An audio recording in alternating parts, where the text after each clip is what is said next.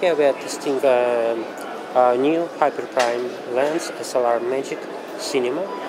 It's a 35 millimeters with um, widest aperture t 0.95.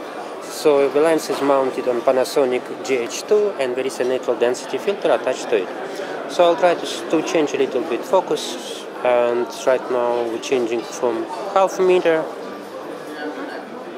to the smallest it's actually 23 centimeters.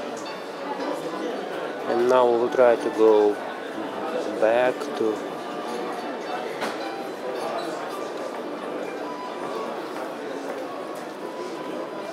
okay infinity. And now back try to focus on the flower.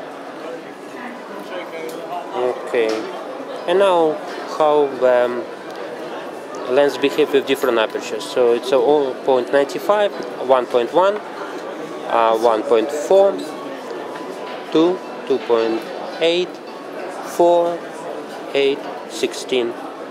And now back to the widest 0.95.